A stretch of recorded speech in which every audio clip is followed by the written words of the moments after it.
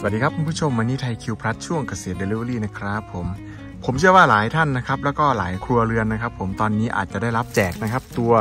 ถังขยะเปียกนะครับ ซึ่งได้รับมาจากองค์การบริหารส่วนตำบล หรือเทศบาลที่เราอยู่กันนะครับ แล้วก็เจ้าหน้าที่อาจจะแนะนำวิธีการใช้งานมาแล้วนะครับ ว่าให้เรานำไปใช้งานอย่างไรนะครับ แล้ววันนี้ผมก็จะมาทำคลิปนะครับสำหรับท่านที่ยังไม่รู้ว่าจะนำไปใช้อย่างไรนะครับ ตัวถังขยะเปียกนะครับที่เราได้รับมานะครับ จะเป็นลักษณะแบบนี้นะครับ เป็นถังน้ำธรรมดานี่เองนะครับ ผมมีฝาปิดแบบนี้ ขนาดน่าจะอยู่ที่ประมาณ 20ถึง25 ลิตรนะครับ ผม ความสูงของถังอยู่ที่ 40เซนติเมตรนะครับแบบนี้นะครับ ส่วนตรงบริเวณก้นถังนะครับ เจ้าหน้าที่เขาจะตัดมาให้เรียบร้อยนะครับ ผมพร้อมที่จะนำไปใช้นะครับ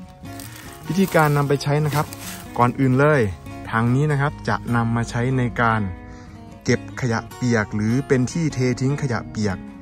หรืออาจจะเป็นการหมักขยะเปียกนะครับ ก็คือขยะที่เหลือใช้ในครัวเรือนนะครับผมเราก็จะมาดูก่อนนะครับว่าขยะเปียกคืออะไรนะครับผม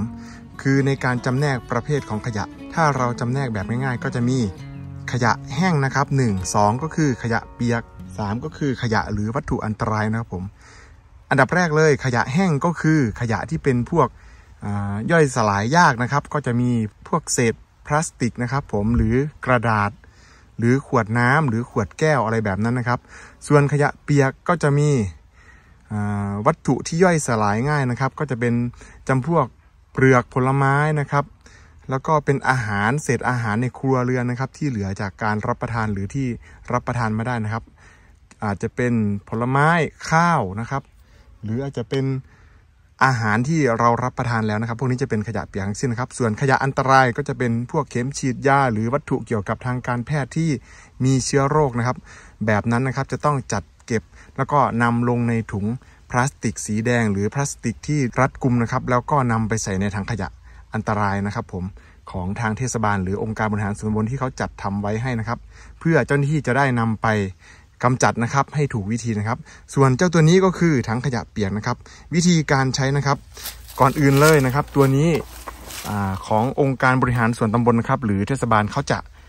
สกรีนมาให้นะครับ แบบนี้นะครับว่าถังขยะเปียกแล้วก็จะมีข้างล่างนะครับ ว่าจากองค์การบริหารส่วนตำบลไหนหรือเทศบาลไหนนะครับ ส่วนตัวนี้ผมจะเขียนให้ชัดเจนขึ้นก็คือถังตัวนี้นะครับ เราจะนำไปเป็นถังขยะเปียกอินทรีย์นะครับ ผมก็คือ ไม่ใช่แค่นำเศษอาหารมาทิ้งนะครับ อย่างเดียวแต่ผมจะนำเศษอาหารมาทิ้ง แล้วก็ทำให้เกิดประโยชน์นะครับ ผม ก็วิธีการนะครับ ถังตัวนี้นะครับที่ได้รับมานะครับ มีขนาดความสูงอยู่ที่ 40เซนติเมตรนะครับ ผมให้เรานะครับทำการแบ่งเป็นทั้งหมด 3 ส่วนนะครับ 1 2 3 แบบนี้นะครับ ผม จากนั้นนะครับ ให้เราไปขุดหลุมนะครับ ขุดหลุมให้มีความลึก สองในสามนะครับ ประมาณนี้นะครับคือตั้งแต่บริเวณนี้ลงมาถึงบริเวณนี้ขอบปากหลุมถึงตรงนี้นะครับสองในสามหรือถ้าเรามีถังขยะที่มีความสูงนะครับ หรือเตี้ยนะครับ เราจะต้องให้ขนาดหลุมนะครับ ลึกไม่ต่ำกว่า 30เซนติเมตรนะครับผมควรจะลึกประมาณ 30เซนติเมตรนะครับผมเพื่อให้เกิดประโยชน์นะครับในการใช้งานในการหมักทั้งขยะเปียกนะครับผม เมื่อเราทำการขุดแล้วนะครับ ผมก็ทำการปรับนะครับ บริเวณหน้าดินตรงข้างล่างนะครับ ผมให้ได้มีขนาดเท่ากับ 30เซนติเมตรหรือ 2 ใน 3 นะครับ จากนั้นนะครับผม ให้เรานำถังขยะเปียกที่เราได้รับการแจกมานะครับ วางลงไปแบบนี้นะครับ แล้วก็ปากขอบจะอยู่บริเวณเห็นไหมครับสองในสามส่วนแบบนี้นะครับ ผมหรือไม่ควรจะต่ำกว่า 30เซนติเมตรนะครับ แบบนี้นะครับ ผมส่วนฝาทางขยะเดี๋ยวเราวางไว้ก่อนนะครับ อันดับต่อไปนะครับ จะอธิบายเรื่องการขุดหลุมบริเวณรอบๆนะครับ การขุดหลุมนะครับ เราจะต้องให้มีระยะด้านข้างนะครับ แบบนี้นะครับผมประโยชน์ของการมีระยะด้านข้างแบบนี้นะครับ มีอะไรบ้างนะครับหนึ่งก็คือ ช่วยในการ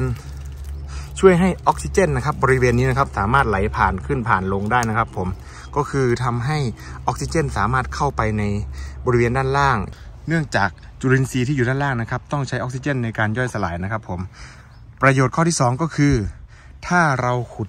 พอดีนะครับ แล้วเวลาที่เรากรบดินลงไปนะครับ จะทำให้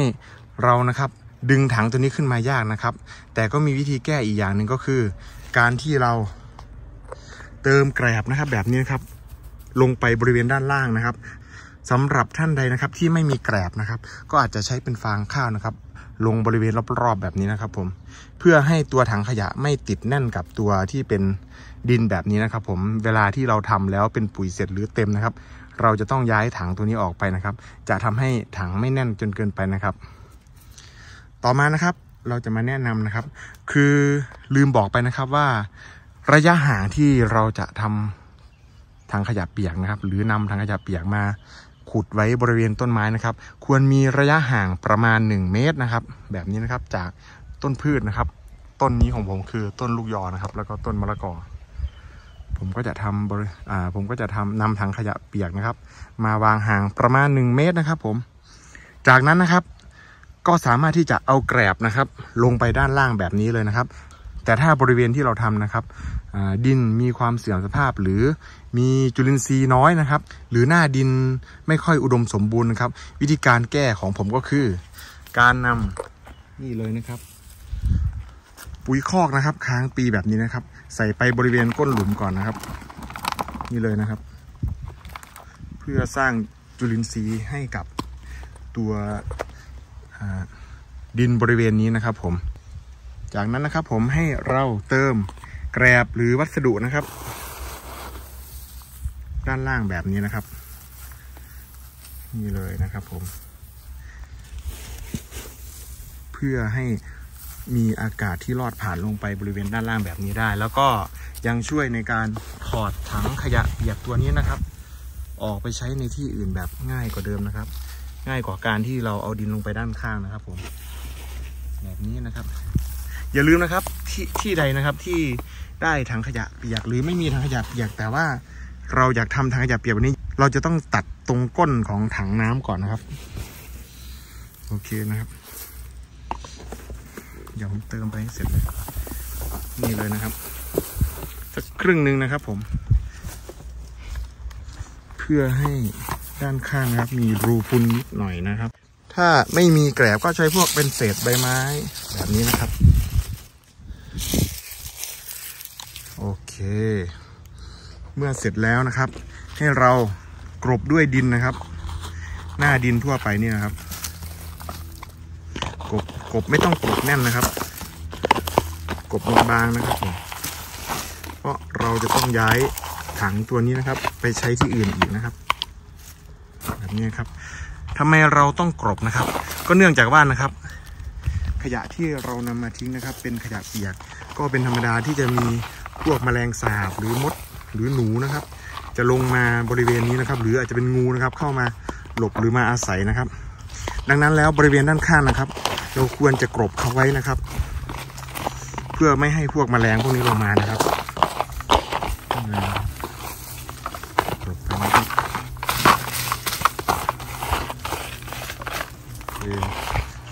ด้านข้างแบบนี้นะครับ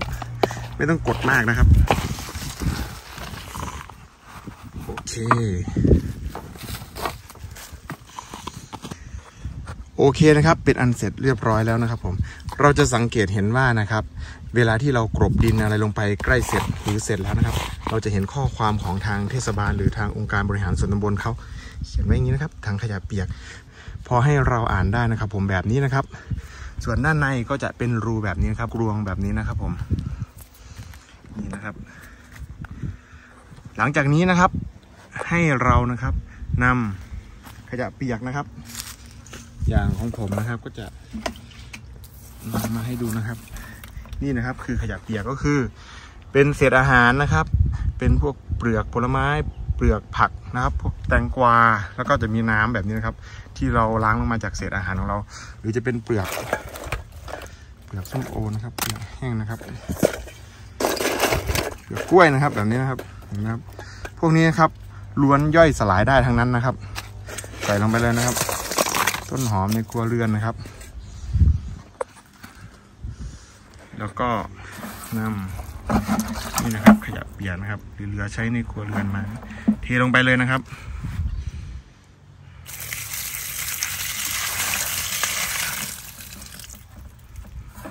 นนี่นะครับผมก็เราก็ปล่อยไว้แบบนี้นะครับ ผมก็หลังจากที่เรานำขยะเปียกลงไปแล้วนะครับ ผม ก็ให้เราปิดฝาถังนะครับ การปิดฝาถังแบบนี้มีประโยชน์อะไรนะครับ ผมก็คือกันพวกแมลงสาบหนูนะครับ ที่จะลงไปรบกวนในถังขยะนะครับ แล้วอีกอย่างหนึ่งก็คือเราส่วนใหญ่แล้วนะครับ ในครัวเรือนของเรานะครับ ก็จะมีสัตว์เลี้ยงนะครับ พวกแมวพวกสุนัขนะครับ ก็จะทำให้เขาไม่มาเปิดหรือลงไปคุยเขี่ยเศษอาหารข้างล่างแบบนี้นะครับ รวมทั้งหนูด้วยนะครับ ผม นี่นะครับก็เป็นอันเสร็จแล้วนะครับ ผม หลังจากนี้นะครับผมจุลินทรีย์ที่อยู่ในดินนะครับ ก็จะทำการย่อยสลายนะครับ ตัวเศษอาหารที่หรือขยะเปียกของเราที่อยู่บริเวณนี้นะครับ ผมแล้วก็จะใช้ออกซิเจนนะครับ ก็คือฝาถังที่เราปิด เราไม่ได้ปิดจนแน่นสนิทนะครับ ผมก็จะมีช่องหรือมีการคายก๊าซนะครับออกได้ แล้วก็ใช้ออกซิเจนนะครับในการย่อยสลายสำหรับจุลินทรีย์นะครับ ถ้าเกิดว่าเรานำขยะเปียกมาลงไว้เยอะๆนะครับ แล้วก็ปริมาณขยะเปียกเยอะขึ้นนะครับ จนใกล้จะเต็มนะครับ แล้วก็อาจจะมีกลิ่นเหม็นนะครับ ถ้าขยะเปียกจุดนี้นะครับ มีกลิ่นเหม็นมากๆ ให้เราใช้ EM นะครับในการเทราดนะครับ ก่อนที่เราจะทำการเทราดนะครับ ให้เราใช้ไม้นะครับ คนถังคนขยะเปียกข้างในนะครับ เพื่อให้มีออกซิเจนลงไปหน่อยนะครับ เพื่อที่ว่าจุลินทรีย์จะได้ใช้ออกซิเจนนั้นในการย่อยสลายนะครับผม แล้วก็หลังจากนี้นะครับ เมื่อขยะเปียกเต็มนะครับ ก็ให้เราเปิดฝาถังออก แล้วก็ยกตัวถังนะครับขึ้นนะครับ จากนั้นนะครับเมื่อยกถังขึ้นนะครับ ก็ให้เรากรบด้วยดินนะครับ ดินแบบนี้นะครับ แล้วให้เราไปขุดหลุมอีกบริเวณหนึ่งนะครับ ใกล้เคียงกันนะครับ หรือจะเป็นจุดใดก็ได้นะครับในส่วนของเรานะครับ แล้วก็ทำเหมือนต้นคลิปที่ผมแนะนำมานะครับผม ก็คือการนำถังขยะเปียกตัวนี้นะครับไปใช้ได้อีกหมุนเวียนนั่นเองนะครับผม